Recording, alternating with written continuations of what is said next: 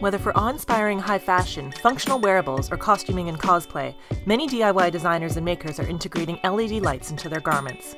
But for someone who's new to electronics, it can be confusing to know where to start. For the absolute beginner, here's a primer demystifying using LED lights for wearable tech.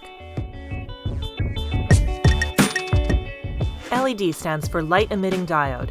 LEDs are perfect for wearables since they're small, inexpensive, and easy to work with once you know the basics. The most basic LEDs, and the best place for beginners to start, are 2-pin LEDs. These LEDs have two pins, or wires. The longer wire is the positive side, known as the anode, and the other side is the negative, or the cathode. Currents in LEDs only go one direction, from the positive to the negative.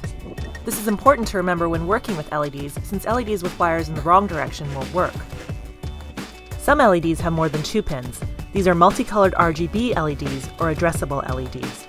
These LEDs can be controlled for a variety of functions, including lighting up and changing colors in a pattern or sequence written in code, or responding to sensors. LED strips can also be used in wearables. These are convenient to work with since they are already wired together and can be cut into the length that you need for your project. The lights on analog LED strips all act as one, and digital strips allow each LED to be addressed individually. As DIY wearables have increased in popularity, LEDs designed specifically for sewing are now available, the Adafruit Sequin and LilyPad LEDs are both designed with small holes for conductive thread and are even washable. While these can be slightly more expensive than standard LEDs, they're a great starting point for beginners.